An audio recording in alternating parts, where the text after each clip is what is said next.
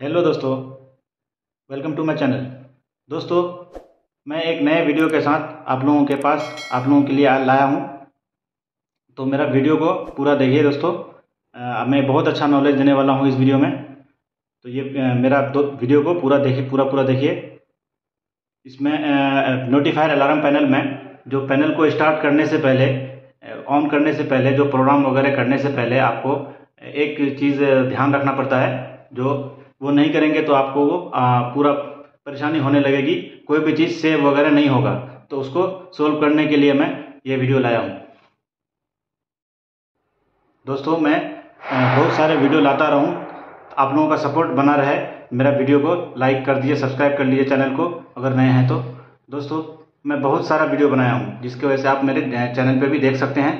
जो सारा वीडियो वगैरह है, उसमें सारा देख सकते हैं। तो चलिए वीडियो में आगे बढ़ते हैं।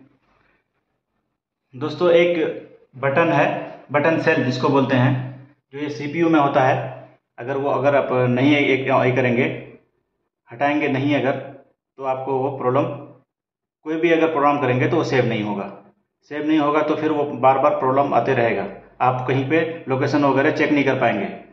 तो उससे पहले आपको एक बटन बटन सेल होता है, जो यहाँ पे है। ये बटन सेल इस तरह से ये इंसुलेटर के साथ इंसुलेटर के साथ लगा हुआ रहता है, इसको निकालना पड़ता है। तो इसको निकालने के लिए सबसे पहले आपको इस तरह से हटाना है।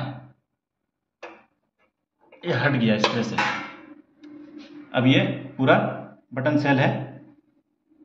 ये इस तरह से लगा हुआ बटन सेल है। इसको आपको पैनल को ऑन करने से पहले, एक्टिव करने से पहले, यानी प्रोग्राम वगैरह करने से पहले आपको ये इंसुलेटर हटा लेना चाहिए। ताकि आपको सारा सेव रहे पैनल में। जो इसका मेमोरी होता है, इस सीपीयू में एक मेमोरी होता है, जो इसको सेव रखता है। तो इसलिए उससे पहले आप इसको निकाल लें, तभी अच्छा रहेगा, ताकि आपको सारा प्रॉब्लम इसमें सारा चीज़ सेव होता रहेगा।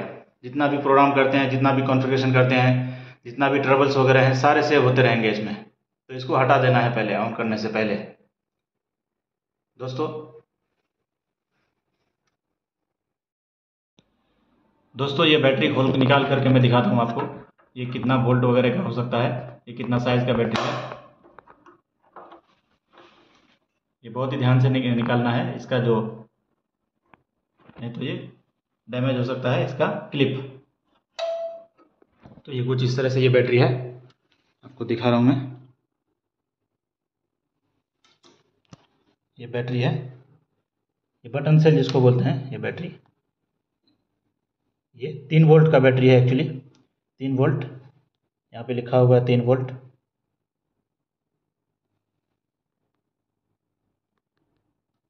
तीन वोल्ट लिखा लिखा हुआ है। ये तीन वोल्ट का बैटरी है पैनासोनिक बैटरी है ये। तो ये पॉजिटिव पॉजिटिव साइड सामने रहेगा। तो इसलिए इसको इस तरह से,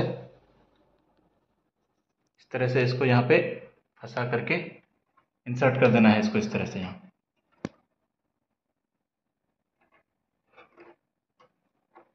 तरह से ये इंसर्ट हो गया।